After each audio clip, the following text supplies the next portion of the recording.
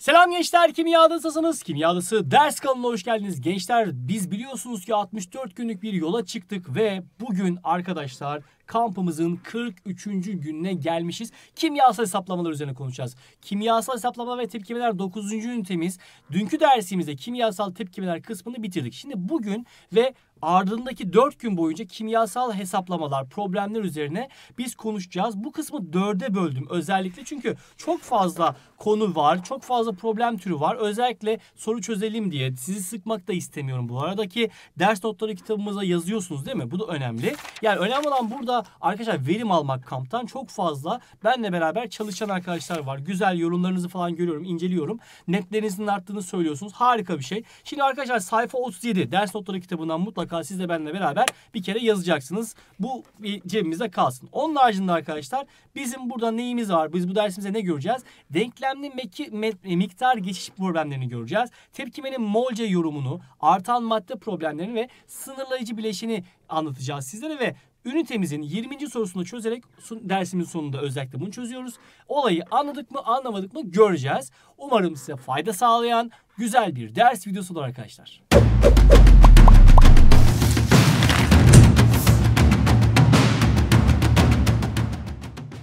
Arkadaşlar şimdi önceliğimiz nedir? Öncelik şimdi bir kere soru güzel okunur. Yani önemli okumak çok önemli ve Gerekirse tepkimeyi bazen verirler bazen vermezler. Tepkimeyi biz verilirse yazıyoruz zaten. Verilmemişse e, arkadaşlar e, verilmişse tabii bu tepkimenin arkadaşlar denkliğini kontrol ediyoruz. Verilmemişse de zaten bize orada ufak tefek tüyolar veriyorlar. O tüyolara göre biz tepkimeyi yazmaya çalışıyoruz ve burada önemli olan şey ne biliyor musunuz? Verilenlerden işte gram verilir, hacim verilir veya tanecik sayısı verilir. Bu verilenlerden yardım alarak o maddelerin mol sayılarını bulacağız. Bakın tepkimeler mol üzerinden yürüyor. Hani biz demiştik ya futbol golsüz, kimya molsüz olmaz. O yüzden biz mol üzerine iyice çalıştık, öğrendik, ödevlerimizi yaptık diye düşünüyorum değil mi? Eğer yapmadıysak hemen mol ödevlerimizi yapalım. Çünkü buradaki anlamak için molü mutlaka iyi bilmek gerekiyor. Ve bakın bizim üç kelimemiz vardı. Başlangıç, tepkime, sonuç. Bunları yazarak hani başlangıçta ne var, tepkimede ne, nasıl bir değişim var ve son durumda ne kalıyor elimizde bunları da yazarak mollere göre kıyaslama yapıyoruz ve burada katsayıları çok önemsiyoruz. Tepkimeyi denkleştirdiğimiz zaman ve bu katsayılara göre mollerimizi ne yapacağız arkadaşlar? Kıyaslayacağız. Şimdi bir, örnek yapalım, uygulama yapalım daha iyi algılamak açısından. Arkadaşlar burada bir tepkime vermişiz. Şimdi tepkimede karbon disülfürü biz yakıyoruz. Peki bu yanma tepkimesi sonucunda oluşan karbon disülfür ve e, e, kükürt dioksit var. Peki bu tepkimemiz denk mi? Bakalım bir, iki kükürt var burada bir kükürt var. Hemen şuraya iki yazalım.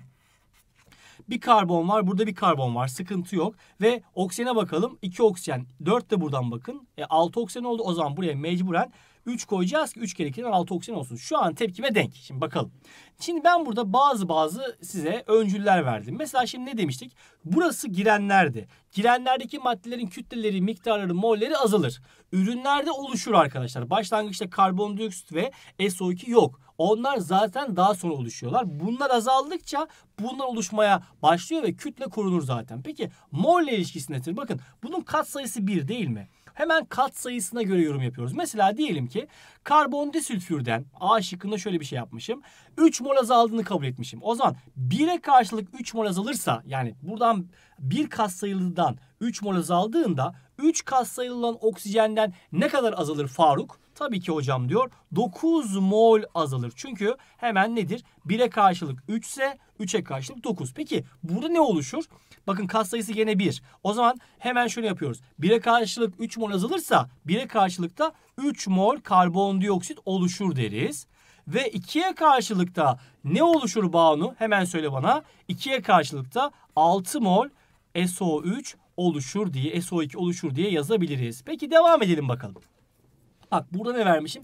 Bak bir şey gördünüz bilmiyorum ama maddelerden birinin sadece ve bir sadece ve sadece birinin molünün değişimi bana yeterli. Eğer onu bilirsek diğerlerinin hepsinin değişimlerini anlayabiliyoruz. Hemen bakalım. Şimdi bak karbondioksit vermişim B şıkkında da. Ne kadar oluşmuş? E, ee, 0,4 oluşmuş. Şimdi bakın bak bir katsayıdan 0,4 oluşursa iki katsayıldan ne kadar oluşur Bahri? Hemen düşünelim. 0,8 mol oluşur dediğini duyar gibiyim değil mi? Evet bunu bu şekilde söyleyebiliriz. Peki buradan ne olur? Gene bakın bir kat sayısı 1 ama e, burada oluşmaz. Girenler oluşmaz, girenler harcanır. O zaman bir katsayılı karbondioksitten 0.4 mol oluşursa bir katsayılı karbondisülfürden 0.4 mol tabii ki azalır diyebiliriz. Peki oksijen ne olur? Bakın 1'e karşılık 3 görüyorsunuz. 1 katsayılı karbondisülfürden 0.4 azalırsa 3 katsayılı oksijenden de 1.2 molluk oksijenimiz ne olur? Azalır diyebiliriz. Peki devam edelim.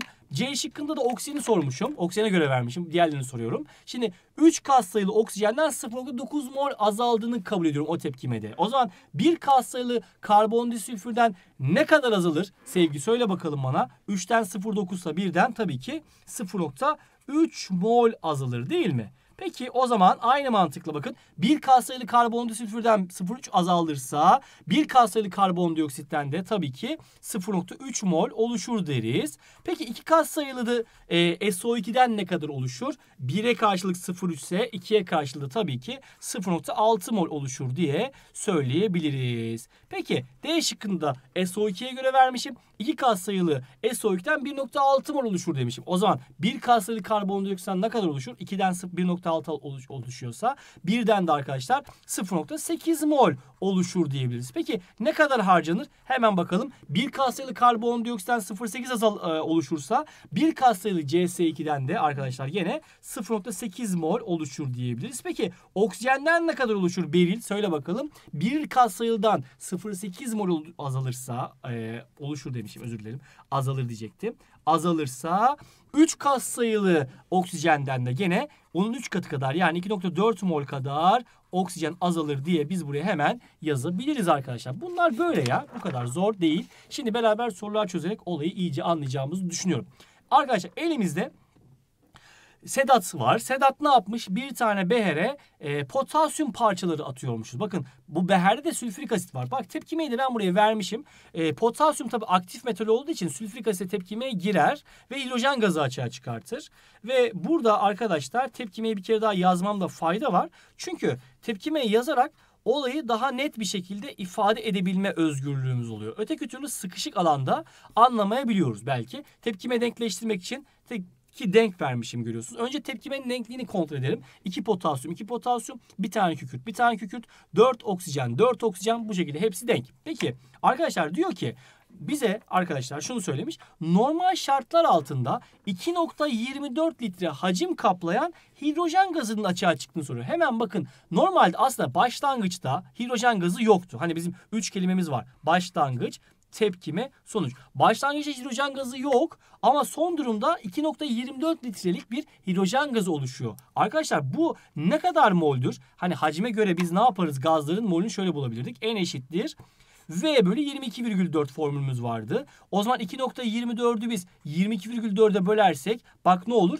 0.1 mol bak ama bak önemli birimini yazalım arkadaşlar. Birimler karışıyor sonra. Kütle miydi, hacim miydi karışır. O zaman bakın başlangıç hiç yok ama son durumda elimizde kapta 0.1 mollük bir e, hidrojen gazı olmuş. Demek ki değişim yani buradaki artma miktarı 0.1 mollük bir artış var. E peki bu nasıl oluyor? Bu arkadaşlar potasyuma göre tabii ki. Şimdi bak bir katsayılı hidrojenden 0.1 mollük bir değişim var ise iki katsayılı potasyumdan ne kadarlık bir azalma olacaktır? Hemen söyler misiniz? E tabii ki burada 0.2 mollük bir e, arkadaşlar azalma olması gerekiyor. Mesela sülfürik asitten ne olur?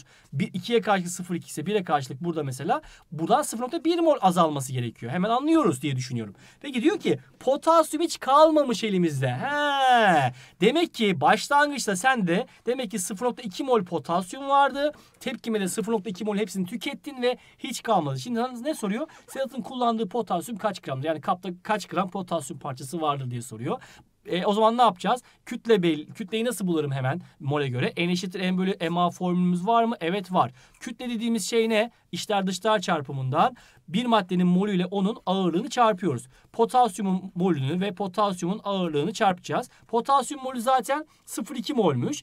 MA'sı da bakın verilmiş 39. Çarparsam 39 ile 2'li 78. Bir tane virgül kaydırırsak 7.8 gram. Demek ki potasyumumuz bu kadarmış diye söyleyebiliriz. Devam edelim. Elimde XO maddesi var. Karbondioksit tepkimeye sokmuşuz ve XCO3 maddesi oluşturmuşuz. Şimdi diyor ki 8.8 gram karbondioksit ile bir miktar XO'nun artansız tepkimesinden 20 gram XO3 gazı oluş maddesi oluşuyormuş. Buna göre X'in atom kütlesi nedir diye sormuşum. Şimdi arkadaşlar bak tepkimeyi bir kere daha yazalım buraya. Tepkime denk mi? Hemen bakalım. Tepkime denk değilse denkleştirmemiz gerekiyor arkadaşlar. Ee, bakalım bir tane X var bir tane X var. Bir tane karbon bir tane karbon 2 e, artı 1 3 oksijen 3 oksijen denk. Şimdi ne diyor? Arkadaşlar 8.8 gram hemen bunun molünü bulacağız tabii ki. 8.8 gram karbondioksit kaç moldür? N eşittir. M bölü MA formülünden tabii ki bulabilirim. E, bir maddenin mol sayısını bulmak için onun kütlesini atom e, ağırlığına bölüyoruz. Peki zaten bakın karbon 12, e, oksijen 16 olarak vermişim. Dolayısıyla ne yapacağım? 8.8'i eması bakın karbon 12 evet ama 2 tane oksijen var. 2 çarpı 16'dan 44 oluyor. O zaman 88 olsaydı bu 2 olurdu. O zaman buradan 0,2 mol. Ha, elimizde 0,2 mol başlangıçta karbondioksit varmış demek ki. Ve diyor ki arkadaşlar burada artansız. Artansız demek demek ki girenlerdeki maddelerin hepsi bitmesi lazım. Yani şöyle karbondioksiti göre düşünebiliriz aslında. Başlangıçta karbondioksitten 0,2 mol vardı. Tepkime ve sonuç yazalım hiç kalmadığına göre demek ki karbondioksitten 0.2 mol azalmış, bitmiş. Yani eksi olarak buraya yazabiliriz. He, o zaman acaba ne kadar XCO3 oluşur? Arkadaşlar başlangıçta XCO3 hiç yoktu zaten. Girenlerdeki maddeler olur, ürünlerdeki maddeler olmaz.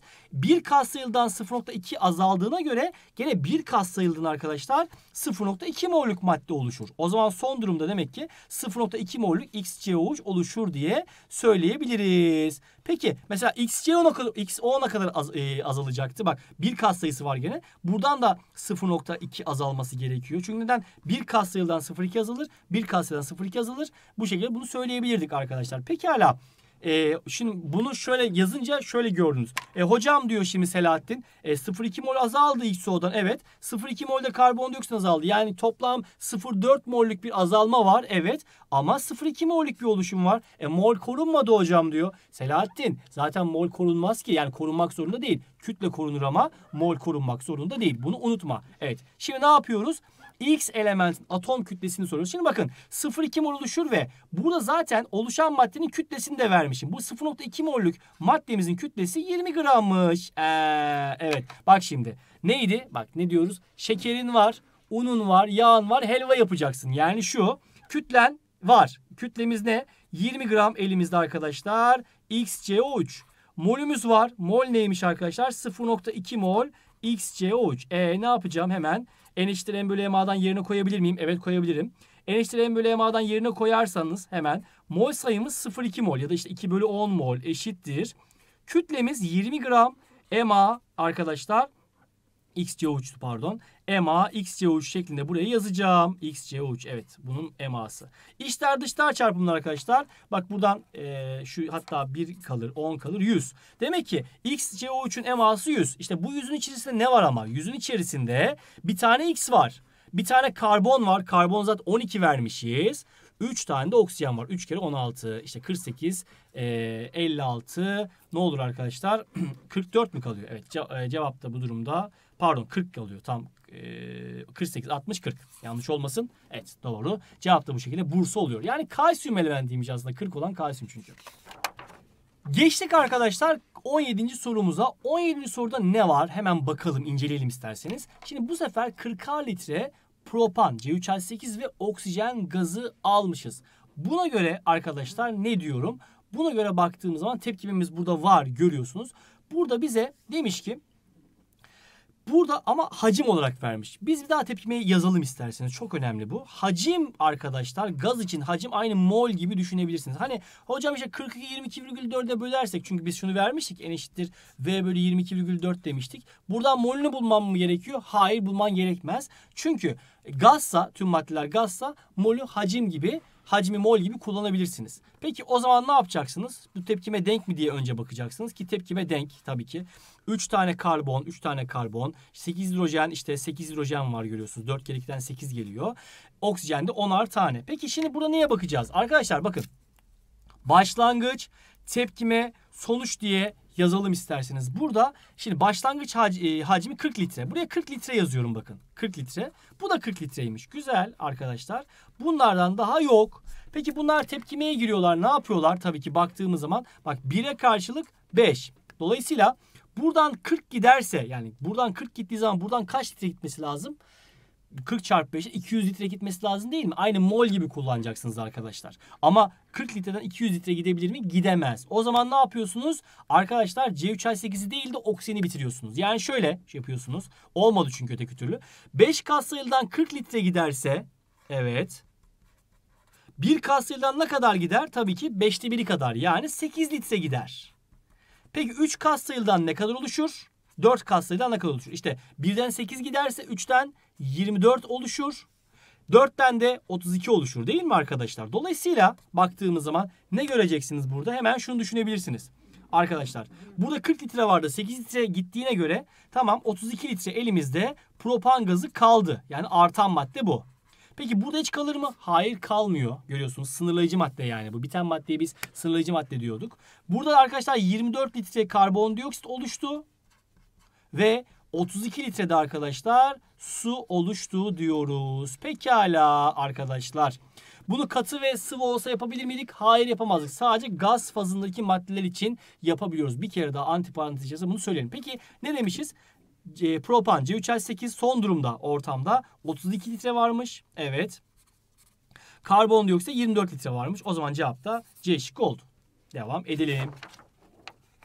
Evet arkadaşlar ünitemizin ikinci bonus sorusuyla karşı karşıyayız. Görüyorsunuz. E, ne verecektik biz size hatırlayalım. İki arkadaşımıza AYT soru bankası, kimya adası soru bankası hediye edeceğimi söylemiştim. İnşallah siz önceki bonus sorusunu cevaplamışsınızdır kendinizce. Zaten Instagram üzerinden çekilişe katılıyorsunuz. Değil mi? Orada da e, so, kaç tane bonus sorusu varsa onları yazarak kitap için bir çekilişe dahil oluyorsunuz. Umarım ihtiyacı olan bir arkadaşımız faydalanır diyelim ve bir sorularımızı. Ha, bu arada gördük mü tam tam görün bakalım soruyu olur mu? Gördük, inceledik. Siz bunu ekran fotoğrafını aldınız, çözdünüz ve Instagram'a artık yorum olarak zamanı gelince atacaksınız. Zamanında artık arkadaşlar son videoda bu ünitemizin son videosundadır diye söyleyelim. Evet, tekrardan bunu hatırlatalım. Arkadaşlar soru 18. Elimizde bir zincir tepkimesi var. Zincir tepkimesi nedir? Arkadaşlar bakın şöyle. Burada kalsiyum karbür bileşiği var. Suya tepkime girerek kalsiyum oksit ve asitlen maddesi olmuş. Burada açığa çıkan asitlen maddesini de biz yakmışız. Yani bakın burada açığa çıkanı yakmışız. Olay bu. Şimdi öncelikle şöyle yani biz buna zincir tepkimesi diyoruz. Çünkü bu maddeyi alıp burada tepkimeye sokmuşuz. Yani birbirine bağlı aslında bakarsanız. Şimdi elimde e, kalsiyum e, karbür maddesi var. Su var görüyorsunuz. Peki ne oluyor bu durumda? Kalsiyum oksit ve işte asetilen maddesi oluşuyor. Tepkime denk mi hemen bakalım. 2 karbon, 2 karbon, 2 hidrojen, 2 hidrojen, bir oksijen, bir oksijen. Evet denk görüyorsunuz. Şimdi biz hemen bunların mollerini bulalım. 12.8 gram kalsiyum karbür. E, N eşittir M bölü MA formülümüz vardı değil mi? O zaman kalsiyum karbürün molü ne olur? E, kütlesi 12.8. MA'sı da Karbon e, 12 ama 2 tane karbon var 24 gelir. 40 da kalsiyumdan 64. Yani 0,2 mol buradan geliyor. Bakın 128'i 2'ye bölsek 64'e bölsek 2 gelecek ama 12.8 ise 0,2 gelir. Hemen suyun mol sayısını bulalım. Başlangıç mol sayısını. Bu da 5.4. Yani 5.4'ü biz de bu sefer neye böleceğiz? 2 hidrojen 2 geliyor hidrojenden. Hidrojen 1. Bir de oksijen 16 da oradan geliyor. Aslında oksijeni buraya yazmamışım. Onu yazayım hemen. Oksijen de 16. 18 yani 54 olsa e, 3 o zaman bu 0,3 mol. Evet.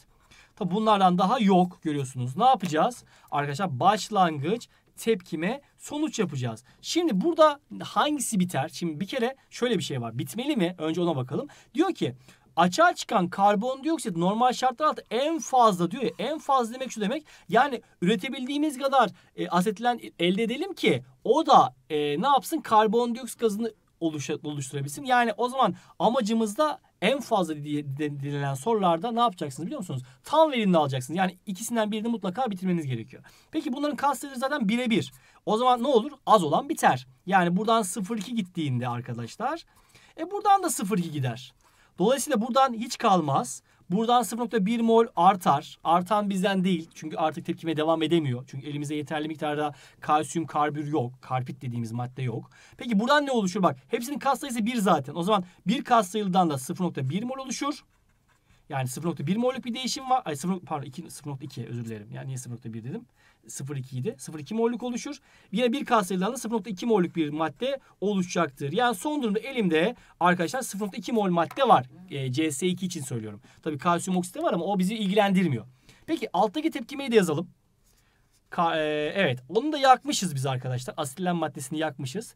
Tepkimeyi denk vermişim herhalde. Çünkü 5 bölü 2 yazabildiğime göre denk vermişim. Yani sizi çok sevdiğim için hemen denk veriyorum. Sizi uğraştırmak istememişim. Pekala. Şimdi ne diyor bize arkadaşlar? En fazla kaç litre karbondioksit gazı elde ederiz? Şimdi bakın başlangıç, tepkime, sonuç. Şimdi yeterli miktarda oksijen var zaten elimizde. Şimdi elimde ne kadar 0.2 mol buradan var ya. Şimdi 0.2 molün hepsi harcansın ki hiç kalmasın ki en fazla karbondioksit oluşturabilelim. Şimdi başlangıçta bundan daha yok. Evet. Buradan 0.2 gittiğinde bak bir katsayıdan 0.2 gittiğinde iki katsayıdan ne oluşur? 0.4 mol oluşur. Evet. Demek ki elimizdeki karbondioksit mol sayısı 0.4 mol. Peki ne yapacağız? Hacmini sormuş yalnız. Ne yapacağız? N eşittir. V bölü 22,4 diyeceğiz. 0.4'ü yerine koyacağız arkadaşlar. 0.4 eşittir.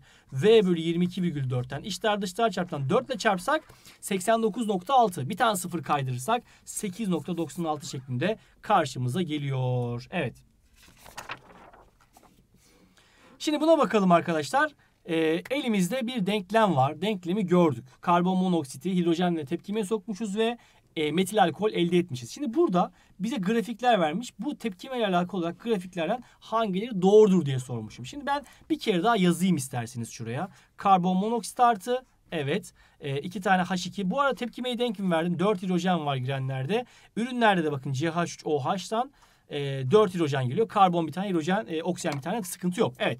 Şimdi 50 56'şar gram diyor. Arkadaşlar hemen molünü bulacağız tabii ki. N eşittir M bölü MA değil mi? Formülümüz biliyorsunuz ki. Bu arada arkadaşlar elimizdeki gaz kütlesine bakacağız. Ki 56 artı 56 toplam başlangıçta 118 gram gaz var. Bunu görebiliyoruz zaten. Evet. Peki şimdi ne yapacağız? Hemen inceleyelim. E, karbon monoksitin mol sayısını bulalım. E, N eşittir M bölü MA'dan 56 gramı kaça böleceğim? Bak karbon e, direkt 28 vermişim. O zaman 28 2 mol yani görüyorsunuz ki. Başlangıçta demek 2 mol bundan var. Peki e, hidrojen kaç mol var? 56'yı kaça böleceğim? 56'yı tabii ki bak. Şimdi burada şöyle bir hataya düşünüyorsun. Hocam MA'yı ne alacağım diyor Hayrettin. Oğlum bak MA'yı H2'ye göre alacaksın. Yani öndeki 2 ile çarpmayacaksın. Yani 2 tane hidrojen. Evet 2 hidrojen. Yani H2'ye göre bakacaksın. Yani hidrojeni zaten şöyle 1 verseydi bile 2 ile çarpacaktık ama öndeki 2'yi almıyorsun yani. Önemli tamam Alttakini alıyoruz ama öndekini almıyoruz. O zaman 2 olunca demek ki 28 molde bundan var. Daha bundan yok. Bak başlangıç tepkime sonuç. E bunlar tepkimeye girer mi? Tabii ki girer. Az olan biter. Tabii bakalım bak 1'e karşılık 2. O zaman uygun oluyor zaten buraya baktığımız zaman. Burada 2 mol gittiğinde buradan ne kadar gider? E baktığın zaman 1'e karşılık 2 mol giderse 2'ye karşılık da 4 mol gider. Ve 1'e karşılık arkadaşlar 2 mol oluşur. Son durumda hiç elimizde karbon monoksit kalmaz. 28 mol vardı 4 molü harcadık. 22 mollük pardon özür dilerim 24 mollük hidrojen gazı artar ve 2 molde e, etil alkol oluşur. Peki bakalım şimdi olayımıza inceleyelim. Ne diyor? Gaz kütlesi ne olur? Şimdi gaz kütlesi başlangıçta zaten ikisinin toplam bu zaten gaz değil. Başlangıçta 56'şar gram karbon monoksit ve hidrojen gazları var. Toplam 118 gram vardı. Ama Hepsi bitiyor mu? Bakın arkadaşlar hidrojenden artıyor. Yani 24 24 mol demek aslında hidrojenin kütlesini hemen bulabiliriz. N eşittir M bölü MA'dan. Yani bu hidrojenin molü ile MA'sını çarparsanız aslında kaç gram hidrojen olduğunu görürsünüz. 24 gram arttı çarpı hidrojen eması da 2 olduğuna göre aslında 48 gram elimizde hala gaz var. Yani şöyle olması lazımdı. Şöyle gelmesi lazım. 48 gram olması lazımdı. Ama arkadaşlar hepsini bitirmiş olmaz. Bu yanlış. Peki oluşan e, C3H, e, CH3OH 2 mol zaten. Hemen bunun kütlesini bulalım arkadaşlar. N eşittir M bölü MA'dan. Yani kütle nedir? Kütle aslında ikisinin molle MA'nın çarpımıdır. Molü arkadaşlar 2 mol. MA'sı kaç? Bakın burada vermişim. MA'sı 32. Yani 64 gram. Evet 64 gramlık madde arkadaşlar elimizde e, ne oluyor? E, oluşmuş oluyor ki e, bakın başlangıç yoktu şimdi 64 gram var. Bu da doğru. Bu doğru yani. Bu yanlıştı bu doğru ama. Peki kaptaki molekül sayısı arkadaşlar molekül sayısı bir maddenin molekül sayısı bir bileşiğin molekül sayısı onun mol sayısıyla Avogadro sayısının çarpılmasıyla bulunur. Evet molekül sayısı bu şekilde bulunurdu. Şimdi çünkü bir mol demek Avogadro sayısı kadar demek. Yani elimizde bir mol olsaydı n tane 6 0 2 10 üzeri 23 tane molekül olurdu. Ama elimizde kaç tane kaç mol var? Elimizde arkadaşlar 2 mol vardı. 28 mol de var. Toplam elimizde 30 mol vardı. Yani başlangıçta 30 çarpı n tane molekül vardı. Peki son durumda ne oldu? Arkadaşlar 24 mol hidrojenin arttı. 2 mol de oluştu. Toplamda 26 mollük madde var. O zaman 26 çarpı n'e düşer. O yüzden bu da doğru olur. Cevap da bu durumda denizli olacaktır. Evet dersin başında atladığımız bir soru vardı. Hemen buna bakalım isterseniz. Yandaki çelik kapta bulunan 1 mol atom içeren CH4 gazıyla 12 çarpı 10 üzeri 22 tane oksijen molekülünün tam verimli tepkimesiyle ilgili olarak. Şimdi arkadaşlar bak 1 mol dememiş yalnız. 1 mol atom içeren demiş. Yani bak hani elimizde x mol CH4 varsa x mol CH4 olsaydı şimdi 4x mol hidrojen olurdu hani dağılma özelliğine göre. X mol de karbon olurdu. Toplamda 5x mol atom olurdu. İşte bu 5x mol atom 1 mol aslında. 5x 1 ise x ne olur bu durumda? 0,2. Yani elimizde 0,2 mol metan varsa 0,2 mol karbon 0,2 çarpı 4'ten 0,8 mol hidrojen toplam 1 mol atom olsun. Evet. Şimdi ben bunu ne yapıyorum? Ben bunu tepkimeye sokuyorum. Kimle? Oksijenle. E şimdi metanla oksijeni tepkimeye soktum arkadaşlar. Ne açığa çıkmalı? Tabii ki karbon, dioksit ve su açığa çıkmalı. Peki tepkimeyi denkleştireceğim tabii ki arkadaşlar. Bir karbon bir karbon 4 hidrojen şuraya 2 koyacağım. Buraya da 2 koyacağım mı? Şimdi bak nedir? Başlangıç, tepkime, sonuç. Başlangıçta ne var? CH4'ten arkadaşlar başlangıçta ne varmış? 0.2 mol varmış değil mi? Bunu bulduk. Peki oksijenden ne kadar varmış? Oksijenden de bak şu kadar diyor. Peki bu ne demek? Zaten bak elimde eğer şöyle bak yazalım. Eğer elimde 1 mol oksijen olsaydı Avogadro sayısı kadar ki Avogadro sayısını 6 çarpı 10 üzeri 23 alın demişim. Bu kadar oksijen olurdu. Peki bize ne diyor arkadaşlar? Bize diyor ki 12 çarpı 10 üzeri 22 tane oksijen içeren kaç mol'dur? Arkadaşlar bak 2 ile çarpsak 12 çarpı 10 üzeri 23. Ama bir tane sıfır kaydırıyor. Dolayısıyla 12 çarpı yani o zaman ne olur 0.2 mol gelmez mi? 0.2 mol. Evet demek ki elimizde 0.2 mol de burada oksijenden var. Evet molleri eşit gelmiş yani. Peki bunlardan var mı? Hayır yok. Bunlar tam verimli tepkimeye giriyor. O zaman bak şimdi 1'e karşılık 2. O zaman buradan 0.2 gittiğinde buradan 0.4 gitmesi lazım. Ama elinde 0.4 yok. Ne yapacağım? O zaman şöyle bak. Buradan şöyle ve buradan. O zaman oksijeni bitirelim. Buradan 0.2 giderse yani 2'den 0.2 gittiğinde 1'den de 0.1 oluşur. Bunlardan daha yoktu zaten. O zaman bak bir kas sayıldan ve iki kas sayılı gene. Bir kas sayıldan 0.1 mol karbon dioksit oluştuğuna 0.2 mol de su oluşuyor. Çünkü iki kas sayısı var. O zaman elinde 0.1 mol e, metan gazı arttı diyebiliriz. Hiç kalmadı oksijenden görüyorsunuz. Ve ne oluştu? 0.1 molluk karbondioksit oluştu. Ve arkadaşlar 0.2 molluk de su oluştu. Bak bunları böyle yazın tamam mı? Yazmadan yapıyorsunuz aman diyeyim. Bak ben yazıyorum siz de üşenmeyin mutlaka yazın. Böylelikle soru kaçırmayacaksınız. Ve mol mü kütle mi bir yanına da belirtin. Peki ne demiş? Artan maddenin kütlesi 1.6 gramdır. Artan madde kim? 0.1 molluk CH4. Hemen kütle neydi? Kütle zaten maddenin molüyle molekül ağırlığın çarpımıydı. E, 0.1 mol artmış. Eması bir karbon 12. E, oksijen, hidrojen de 4 e, oluyor. 4 hidrojenden yani 1 çarpı 1 çarpı 4'ten 4 geliyor. 16 geliyor yani metan gazın eması. Dolayısıyla 1.6 gram madde arttı. Evet doğru. Sınırlayıcı madde biten maddedir. E, oksijen gazı bittiği için sınırlayıcı maddedir. Aşırı madde diye sorsaydı CH4 diyecektik.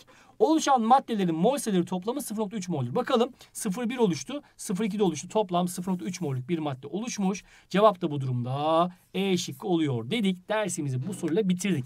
Bu dersimizde ödevlendirme yapmayayım. Bir sonraki dersimizde kimyasal hesaplamalara devam edelim. Orada ödevlendirme yapayım isterseniz. Ama önceki ödevleri yapmamışsanız bugün mutlaka ödevlerimizi yapalım. Kitaplarımızı biliyorsunuz zaten siz. Ödevlerimizi veriyorduk. Hatırlarsınız diye düşünüyorum.